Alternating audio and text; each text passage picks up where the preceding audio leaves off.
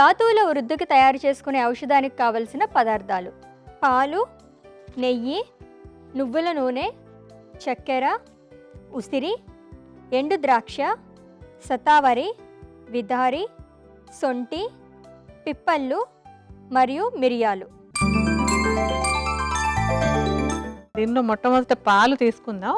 అంటే ప్రేక్షకులకి ఏంటంటే మీరు కొలత ప్రకారం చేసుకోవాలి కనుక సుమారుగా ఒక అర లీటర్ పాలు తీసుకోండి.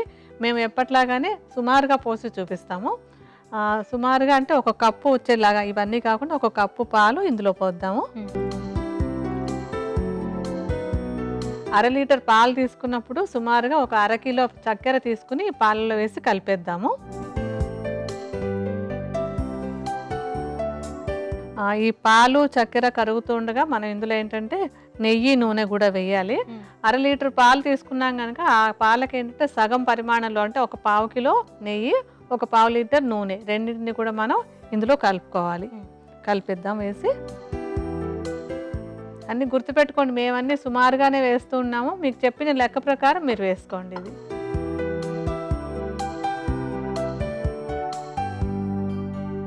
ఓ ఈ పాలు నెయ్యి నూనె చక్కెర అన్ని కలిపేస్తాం కదా.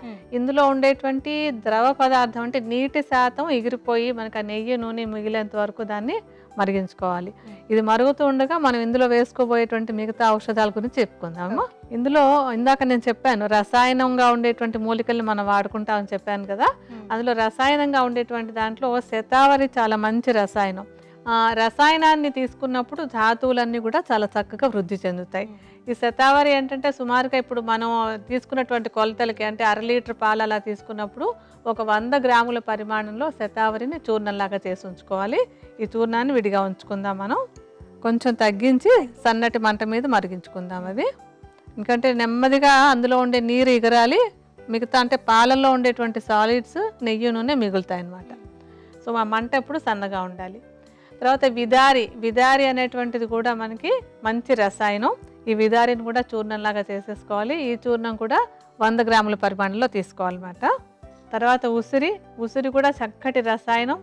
ఇది కూడా సమానంగానే ఒక వంద గ్రాముల పరిమాణంలో పెట్టుకుంటాము.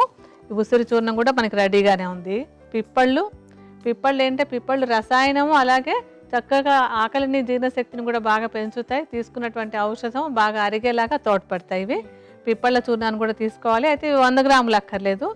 కొంచెం తగ్గించి ఒక ఇరవై గ్రాముల పరిమాణంలో పిప్పల చూర్ణాన్ని ఏమో తర్వాత సొంటి. సొంటి కూడా రసాయనమే అలాగే ఇది కూడా జీర్ణశక్తిని బాగా పెంచుతుంది. సొంటిని కొద్దిగా నేతిలో వేయించి చూర్ణం చేసేసుకుని ఈ చూర్ణాన్ని కూడా ఒక ఇరవై గ్రాముల పరిమాణంలో పెట్టుకోవాలి. ఇంకా మిరియాలు. మిరియాలు కూడా అందరికీ తెలిసిందే చక్కగా జీర్ణాన్ని బాగా పెంచుతాయి. తీసుకున్నటువంటి ఔషధం బాగా పనిచేయడానికి తోడ్పడతాయి. మిరియాల పొడి కూడా సుమారుగా ఇరవై గ్రాములు పెట్టుకోవాలి. బాగా ఇష్టమైనటువంటిది అందరికీ ఎండు ద్రాక్ష కిస్మిస్ అని కూడా అంటాం కదా. ఇది మనం ఇందాక తీసుకున్నటువంటి శతావరి తర్వాత విదారిలాగా వంద గ్రాముల పరిమాణంలో పెట్టుకోవాలి. ఇవన్నీ రెడీగా ఉంచేసుకుని ఈ పాల అంటే ఇప్పుడు మనకు అది కా- కాచి పెడుతున్నటువంటి పాలు నెయ్యి నూనె అన్నీ ఉన్నాయి కదా. అందులో నీరు బాగా ఎగిరిన తర్వాత ఈ చూర్ణాలని మనం చెప్పుకున్నట్టుగా ఒక్కొక్కటి వంద వంద గ్రాముల పరిమాణంలో శతావరి విదారి తర్వాత ఎండు ద్రాక్ష వేయాలి. మిగతా మనం తీసుకున్నటువంటి సొంఠి పిప్పళ్ళు మిరియాలు అవన్నీ కూడా ఇరవై ఇరవై గ్రాముల చొప్పున వేసుకోవాలి మనం. బాగా కాగుతోందా?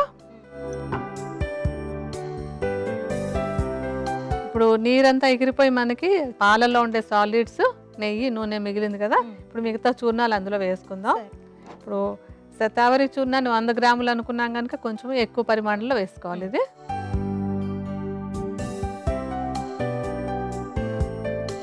మీరందరూ కొలత ప్రకారమే వేసుకోండి. విదారి కూడా ఇప్పుడు శతావరి ఎంత వేసామో అలాగే విదారి చూర్ణాన్ని వేసుకుందాం.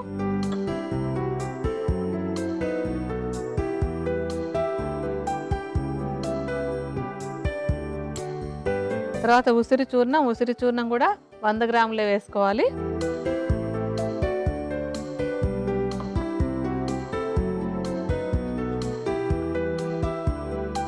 ఎండు ద్రాక్ష ఎండు ద్రాక్ష వంద గ్రాముల పరిమాణంలో ఎండు ద్రాక్ష అలా వేసేసుకోవచ్చు.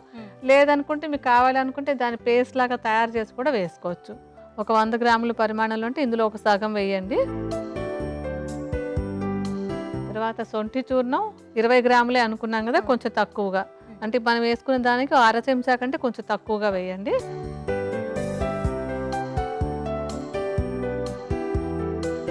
తర్వాత పిప్పళ్ళు కూడా ఇరవై గ్రాములు కనుక కొంచెంగా వేసుకోవాలి.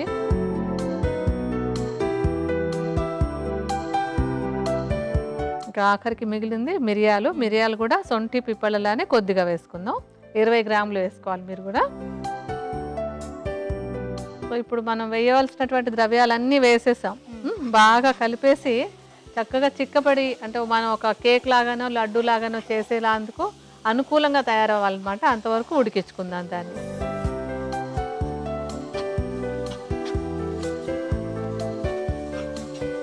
చక్కగా బాగా దగ్గర పడుతోంది కదా ఇది. ఇప్పుడు ఇంకా దీన్ని మనం పళ్ళల్లోకి తీసేసుకోవచ్చు. అంటే పళ్ళల్లోకి తీసుకుని కొంచెం గట్టిపడ్డాక ముక్కలు కోసినట్టు మైసూర్ పాకు ముక్కలు కోసినట్టు చేసుకోవచ్చు. లేదా లేదంటే చిన్న ఉండల్లాగా తయారు చేసుకోవచ్చు. ఎలా అయినా చేసుకోవచ్చు అనమాట మనం ఇప్పుడు బౌల్లోకి తీసుకుందాం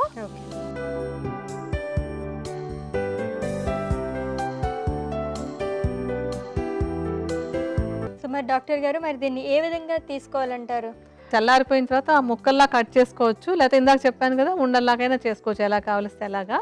ఇలా తీసుకున్న దాన్ని ఏంటంటే సుమారుగా ఒక పెద్ద ఉసిరికాయ పరిమాణంలో ఒక ఉండలా చేసుకుంటే లడ్డూలా తీసుకోవచ్చు. లేదా ఒక ముక్కలాగా చేసుకున్నారనుకుంటే ఒక అంగుళం సైజులో ఒక ముక్కలా చేసుకొని ఉదయం ఒకటి సాయంత్రం ఒకటి.